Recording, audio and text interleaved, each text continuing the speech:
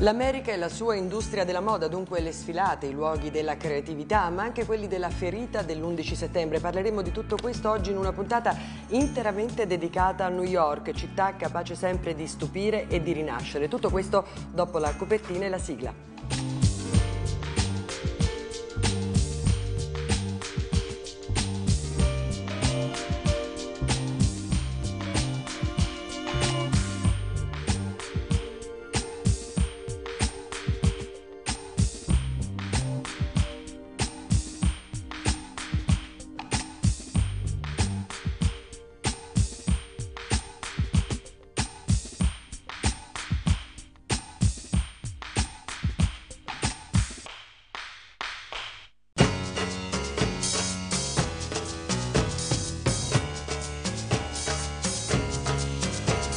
Mettere da parte i sensi di colpa, eppure non è facile mentre sei a New York nella settimana in cui si celebra l'11 settembre con il cuore diviso in due, come la città. Da una parte Uptown, il suo Lincoln Center, le sfilate di una moda americana che scorre via alla consueta velocità degli ultrasuoni, con il suo pubblico diviso equamente, anche qui, in un mix di glamour e di follia, tacchi a spillo e abiti lunghi disinvoltamente a confronto con le toilette più impensabili e inarrivabili, anche con molta fantasia. As it tore through the dall'altra Downtown, Ground Zero, il pellegrinaggio a ciò che resta oggi delle torri gemelle. Un parco alla memoria e a ciò che di più tragico è stato, quei fiocchi mestamente legati alla cancellata di Trinity Church, il pellegrinaggio in jeans e scarpe da tennis di chi vuole esserci, passare a celebrare, ricordare, portare a casa una foto o meglio, dire una preghiera. Le due facce di una New York che in realtà ha sempre abituato chi la ama ad averne cento, mille e sempre tutte sbalorditive, proprio come lei, la grande mela, che non si ferma e che nonostante tutto va avanti, imperterrita e pronta a rinascere in ogni modo, anche attraverso la sua industria di moda. C'è un velo di tristezza e di malinconia nei giorni di una fashion week newyorkese che si appoggiano a quelli di un decennale che la città e con essa il mondo mai potrà dimenticare. Eppure c'è anche grande energia e vitalità. C'è la forza di un'industria di moda che ha nella sua natura quella di andare avanti, di guardare oltre, di spingere il piede sull'acceleratore, di non fermarsi mai, soprattutto in America, soprattutto ora.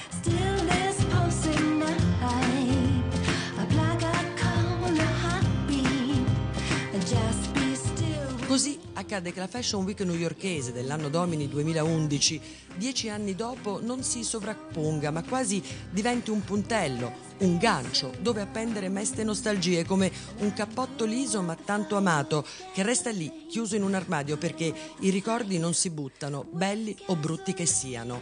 Ma intanto si va avanti con abiti nuovi, pronti a vestire una nuova vita con uno sguardo a ciò che è stato ma anche a come sarà è quanto ci dicono coralmente tutti loro, magari sventolando la bandierina a stelle e strisce. È lo spirito dell'America, anche di quella della moda.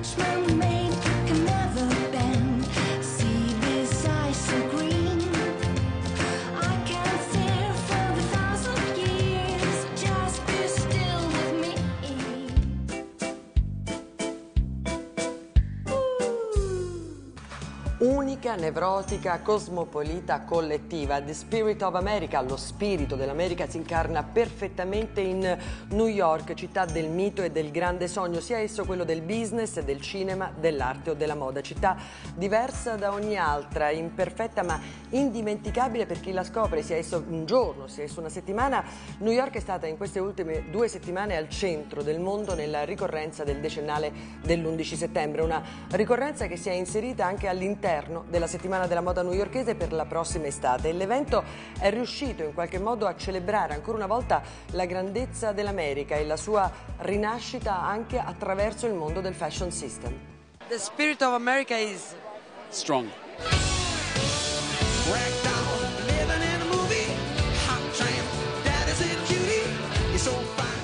Grande e a colori lo spirito dell'America per uno dei suoi più affermati interpreti di moda, Tommy Hilfiger, il papà del preppy style, ovvero quel modo di vestire ispirato ai college americani e alla buona educazione di una giacca da boyfriend, di una gonna al ginocchio, tra colori regimental e dettagli chic.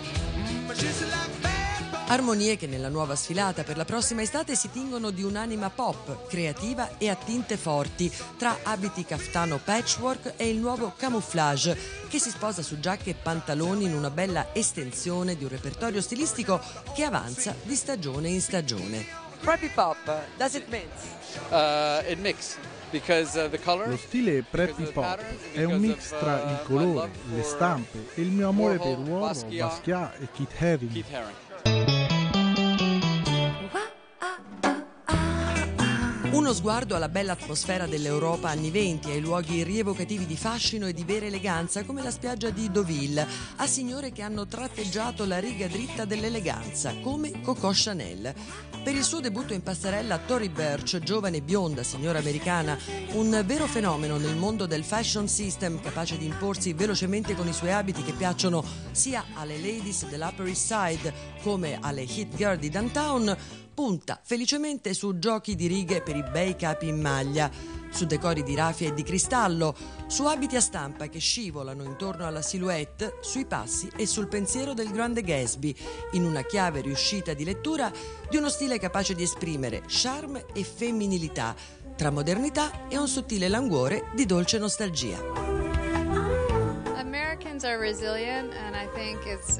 L'America deve guardare avanti con positività anche nel mercato della moda. La mia collezione estiva guarda allo stile di The Ville degli anni 20, unendo insieme sport e glamour. Spostiamoci ora nel backstage di Diane von Fürstenberg. È l'11 settembre e non serve molto per capire che il cuore e i pensieri di tutti siano divisi a metà. La moda da un lato, Ground Zero dall'altra e quella bandiera esibita dalla stilista con orgoglio e tenerezza è lì a ricordarcelo. Oggi devo dire che mi sento mo- molto americana, anche se sono americana solo da 5 anni. Uh, però bisogna andare avanti e infatti anche per questo che ho chiamato la mia sfilata Beginnings. È tutto per la speranza, il potere della luce, il potere, il potere della, del colore e la vita. Nel backstage intercettiamo anche Oscar de la Renta, un monumento della moda americana, un grande amico di Diane.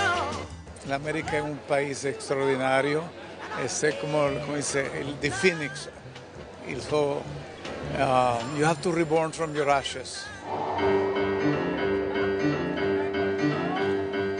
Al suono di Feeling Good si alza il sipario e il pubblico davvero comincia a sentirsi meglio. Insieme al suo direttore creativo Ivan Maspeler, Lady Diane compie un piccolo miracolo di stile e di ottimismo con i suoi abiti a stampa colorata, le silhouette drappeggiate, il tocco ladylike da giovane ed elegante signora che piace all'America e al mondo. Uno sguardo all'Africa come ispirazione leggera da accarezzare per poi volare via su memoria degli anni 60 e su una collezione capace di fondere l'etnico, la stampa e i colori più accesi con il senso di un'eleganza urbana e molto contemporanea.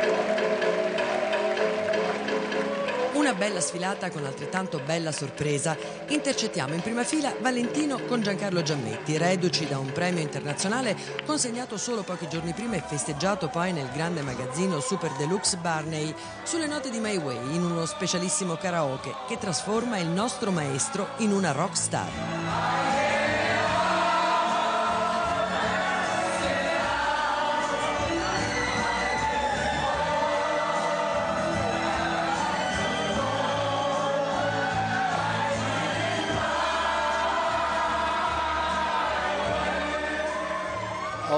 Sì, quattro, quattro, giorni fa, cinque giorni fa il premio l'FIT, eh, che è un premio straordinario, Anna Wintour che me l'ha dato, ho avuto delle ovazioni straordinarie e Karl Lagerfeld mi ha mandato un messaggio, è stato molto molto bello. Italiani vanno sempre forte, lo dimostra anche Missoni che realizza una collezione per la catena di negozi Target. Successo planetario al punto che il magazzino chiude la sera stessa per tutto esaurito.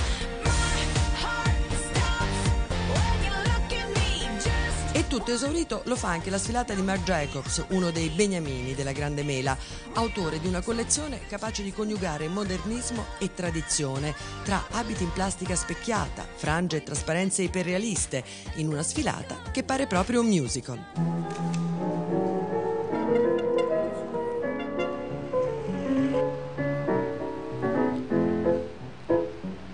Moda che è uno spettacolo anche da Tom Brown. Seconda collezione donna per il designer che mette in scena, quasi liberandole da gabbie, le sue creazioni esagerate nei volumi e nelle citazioni anni venti, tra colli giganteggianti e gonne a ruota, in un mix di maschile e femminile che a Brown riesce bene e sempre ben accompagnato da uno scenografico stupore.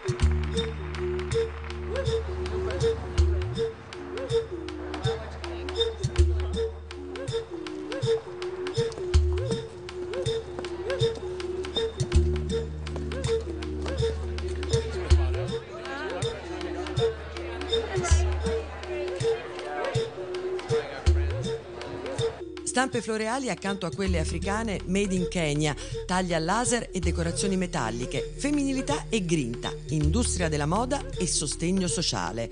Per Idan, marchio fondato nel 2005 da Ellie Hewson e da suo marito Bono Vox e oggi partecipato al 49% dal gruppo LVMH, lo stile deve avere sostanza. E ben lo dimostra la nuova collezione, per la quale si muove una nutrita pattuglia di amici famosi per vedere abiti realizzati dalle Crochet Sister, suore del Kenya, note per i loro lavori a maglia, con materie prime provenienti da Nairobi. E ancora, capi giovani attuali al centro di un business che, crescendo, aiuta anche a far crescere e a sostenere il lavoro in Africa. Ciò in cui noi crediamo è creare uno scambio commerciale con l'Africa, liberando dalla povertà la popolazione. La collezione è realizzata con materie prime provenienti da Nairobi per far crescere e sostenere il lavoro in Africa.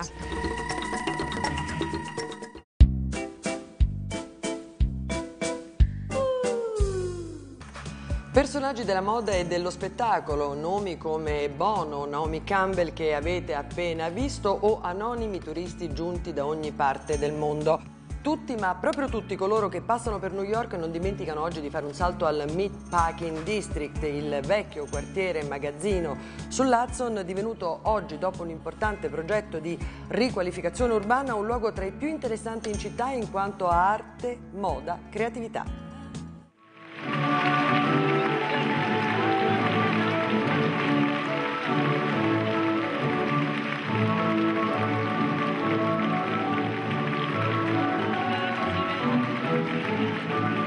Subirne il fascino romantico e delabré è stata Diane von Fürstenberg, signora della moda americana, regina degli chemisier e di quegli abitini dall'aria così per bene e al tempo stesso così perfetta a contrasto con il Meat Packing District. Così nel 1999 la stilista belga ha deciso il suo quartier generale doveva essere proprio qui, in questo angolo di Manhattan, romantico e autentico, così diverso dalle roccaforti della borghesia di Park Avenue.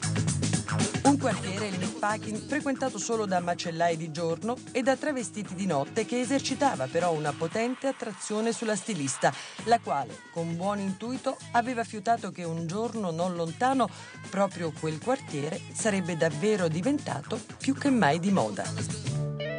Ma mi piace perché fa molto villaggio, cioè non c'è tutto questo rumore e poi io cercavo una casa perché volevo fare una casa dove avevo il showroom, gli uffici, eccetera, e ho trovato questa casa qua. Poi mi piace, c'è il mare, il fiume, insomma uno non si sente proprio... Oh. Sono bastati tre anni così per trasformare quello che era stato costruito in un secolo. Miracoli della moda, capace di sovvertire le regole e di cambiare le carte, giocando con le destinazioni d'uso mattatoi e stabilimenti industriali per riscatolare la carne trasformati in boutique, loft e locali alla moda occupati da stilisti e designers, tutti complici della trasformazione della zona, oggi una delle più vibranti, divertenti e, consentitecelo, trendy della città. New York City, such a beautiful disease. Sulla pavimentazione della strada, cubetti di porfido che ricordano i San Pietrini di romana memoria sono arrivati in ordine sparso da tutto il mondo. Da Alexander McQueen a Carlos Miele, da La Perla a Stella McCartney, solo per restare nel giro della moda. E se il design e il suo vessillo portabandiera nell'Hotel Maritime, che con le sue finestre a oblò è considerato una vera istituzione nell'architettura contemporanea newyorkese, l'appuntamento per il brunch più chic passa dritto dritto attraverso due indirizzi. Pastis, brasserie di stampo francese, frequentatissima da turisti e newyorkesi dell'upper class, e il rinomatissimo Spice Market, oggi uno dei ristoranti più in voga non solo nel quartiere, ma in tutta la Grande Mela. Tra i frequentatori più assidui dello Spice Market e della zona figurano la fotografa Annie Leibovitz, l'artista regista Julia Schnabel, il direttore di Vanity Fair Graydon Carter e, naturalmente, non poteva mancare lei Sara Jessica Parker, da sola o in compagnia di tutta Sex and the City.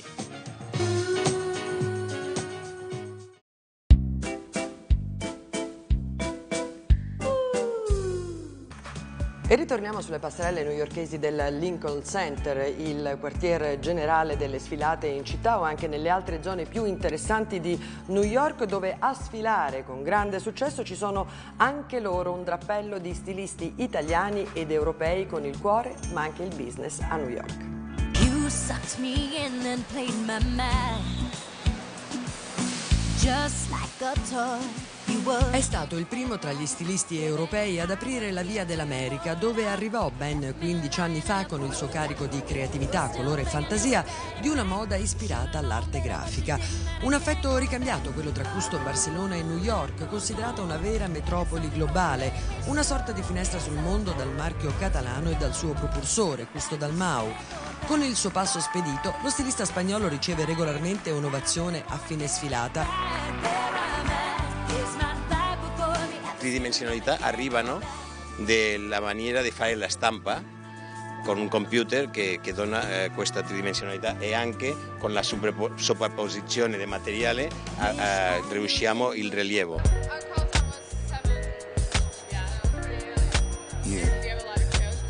Dalla Spagna alla Francia, seguendo il filo di un piquet di cotone che ha fatto della polo con il marchio del coccodrillo la bandiera del popolo Lacoste.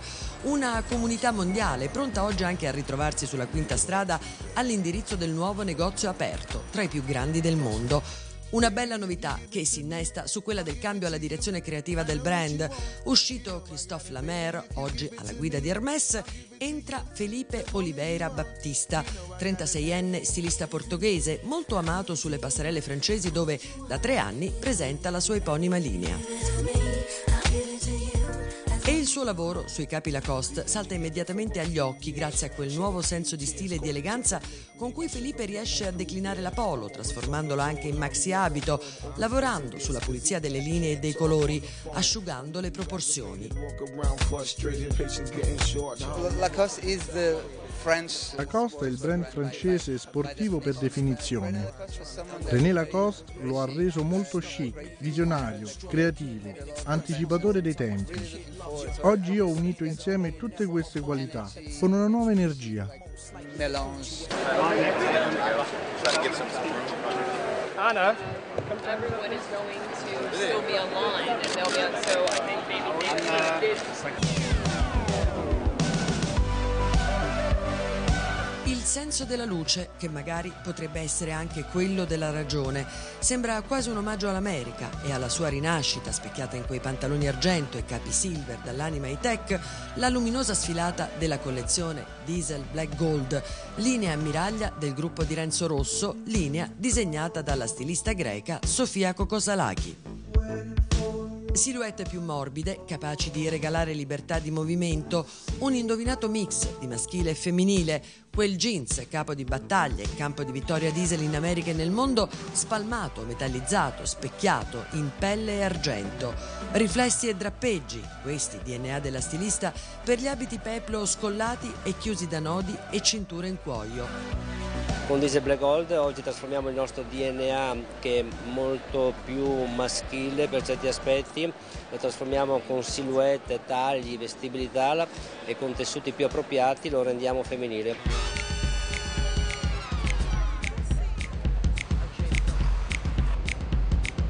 Nell'America del 2011 la moda guarda agli anni 20, una stagione perfetta anche per quell'eterea eleganza rievocata con savoir-faire e buon gusto tutto italiano da Alberta Ferretti nella sua nuova collezione Filosofi. Si sfila negli interni di una mansion, ovvero un'aristocratica palazzina in Upper East Side che si apre a quei delicati abiti sottoveste peso piuma di cui la nostra stilista è maestra con uno sguardo alla protagonista del Grande Gatsby, a quella Daisy e al suo indimenticabile senso dello stile, che qui prende la strada di una romantica, giovane, moderna femminilità. Anche se è una collezione giovane, Filosofi vuole comunicare questo, luminosità, positività, una ricerca anche di stile di nuovo, perché anche le ragazze giovani in modo particolare di nuovo vogliono essere un po' speciali.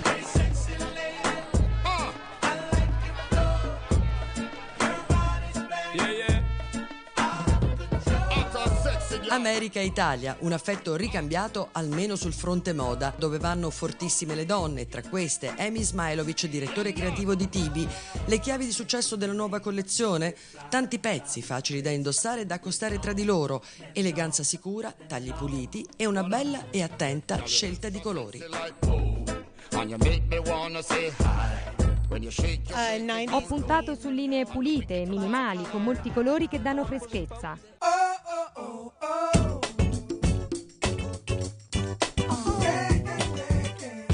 Fiona Cibani, direttore creativo di Ports 1961, sceglie per la sua sfilata l'ambiente colto e rarefatto della Public Library di New York, uno spazio siderale dall'apparenza dilatata che mette in luce le forme architettoniche dei capi dalle silhouette essenziali e depurate, un tocco di stile avveniristico per abiti arricchiti da pieghe, rielaborati con innovative stampe, giochi geometrici, frammenti di vetro e tessere di mosaico specchiato, un tocco fluo e il gioco, o meglio, la moda, è fatta.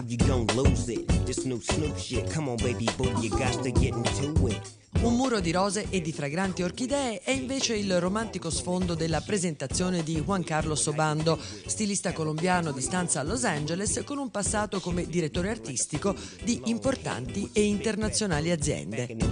Convinto del potere dell'abito e della sua forza capace di trasformare un giorno normale in qualcosa di straordinario, Mr. Obando snocciola uno dietro l'altro una serie di abiti dalla indiscutibile bellezza, grazie alle loro silhouette morbide, ai luminosi rasi di seta, a scolli, tagli e drappeggi, espressioni di un'evidente armonia stilistica. Amo l'idea di una moda provocante ma allo stesso tempo facile da indossare. Capi seducenti e belli ma rilassati. But I'm very relaxed. When I see my baby bullshit, I get foolish. Smack a nigga that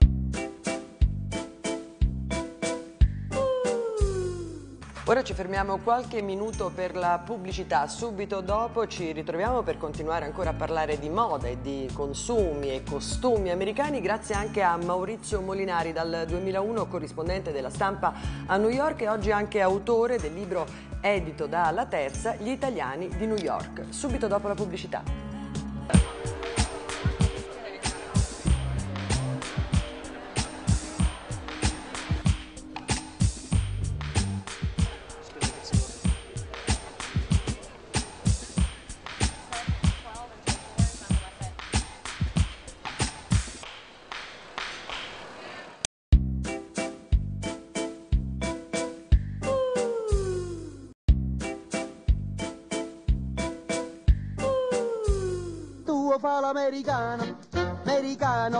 Americano.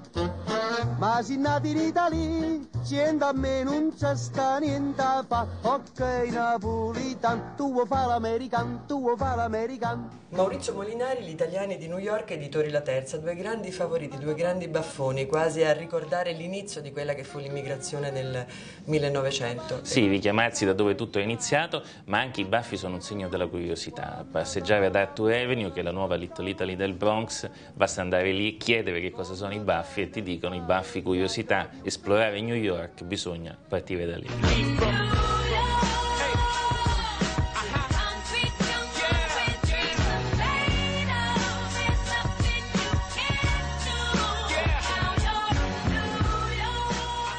L'America e New York quindi sono eh, molto spesso monolitiche, eh, lavorano molto sulla programmazione, sulla pianificazione, tutto deve essere previsto. Poi quando arriva l'imprevisto, naturalmente come si fa? C'è sempre l'immigrato italiano che può essere un grande manager, un grande pretoriere o un cameriere che risolve lì dove l'americano è in difficoltà. Ad Arthur Avenue eh, è mezz'ora di macchina dal centro di Manhattan, lì c'è una città italiana cioè dove si parla italiano per strada, bisogna andare il sabato. Il sabato è il giorno nel quale eh, questo quartiere diventa esattamente come una piazza di qualsiasi città.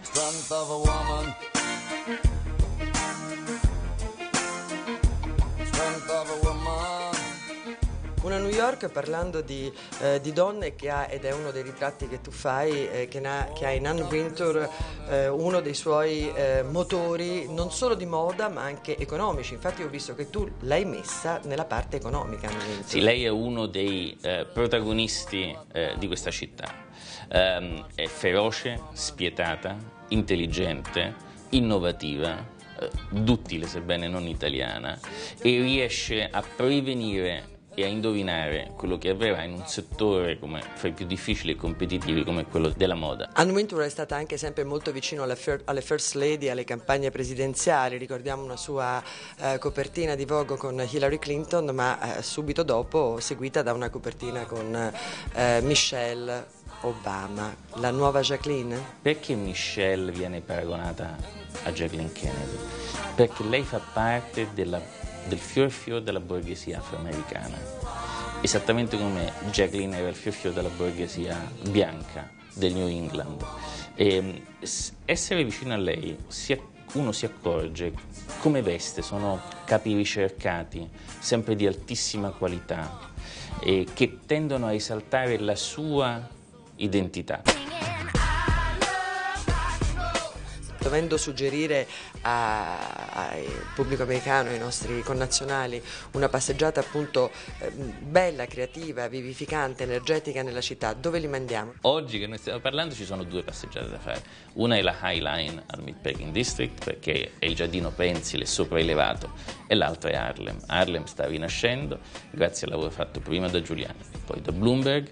Ci sono dei palazzi bellissimi, dei giardini curati, si può andare la sera fino a tardi all'Apollo Theater, non ci sono problemi di sicurezza, ci sono nuove villette messe a posto, cioè la nuova Harlem lungo il Martin Luther King Boulevard davvero dimostra la forza innovativa costante di una città capace di sconfiggere ogni pregiudizio.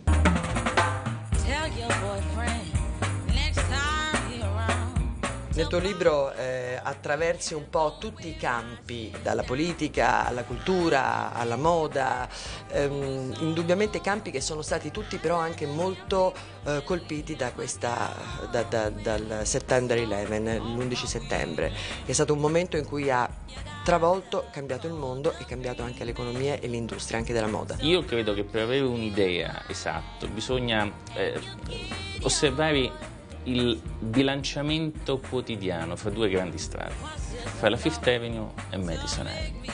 Perché la Fifth Avenue è la grande strada dei negozi ma di massa, mentre Madison Avenue sono le boutique per gli americani ricchi. Sono i due comportamenti della città. Ora, cosa è avvenuto in questi dieci anni? Si è impoverita Madison mentre invece la Fifth Avenue fiorisce, anche questa è la nuova New York. Gli italiani di New York, Maurizio Moninari, editori La Terza.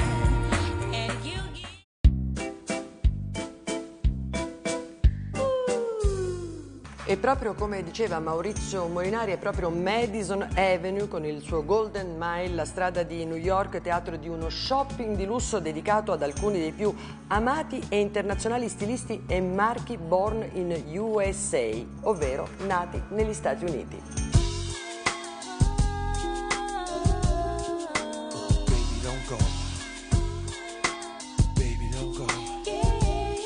Un abito sottoveste, languido ed evanescente, bello in quella tonalità di nudo, la lunghezza ferma poco sotto il ginocchio, un gioco di pieghe che regala seduzione al passo. È Francisco Costa, direttore creativo di Calvin Klein Donna, a mettere a segno uno dei due colpi magistrali nell'ultimo giorno di sfilate newyorkesi.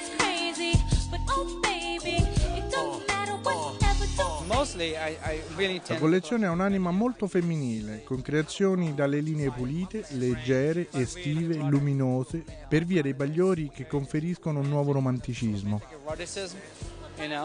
Sometimes in life you feel the fight is over.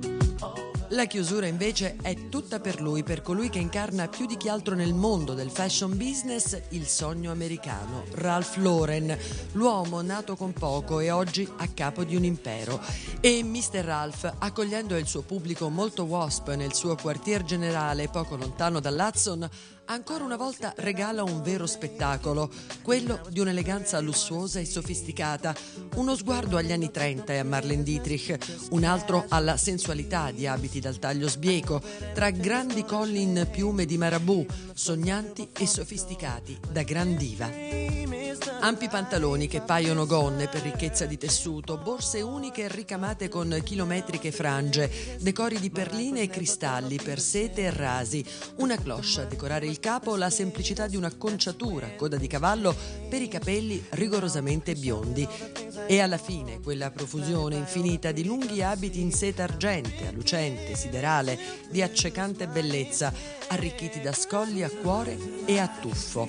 O meglio, un tuffo al cuore, il miglior modo per salutare New York e augurarle good luck, buona fortuna a una città capace sempre di rinascere nel segno di un futuro luminoso come questa moda.